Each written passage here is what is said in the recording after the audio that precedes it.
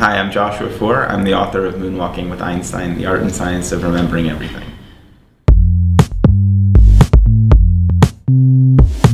Moonwalking with Einstein refers to a memory device that I used when I was training for the United States Memory Championship. The OK Plateau is this point that we uh, all reach in almost everything we do where we basically say I'm okay with how good I am at this skill and I'm gonna turn on autopilot and basically stop thinking about it.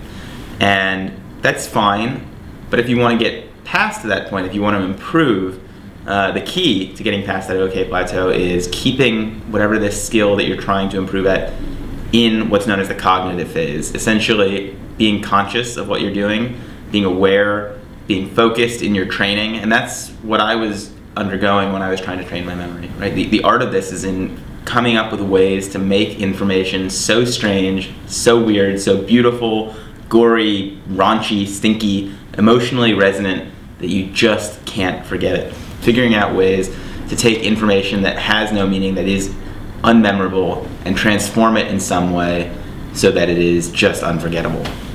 And that was actually kind of fun.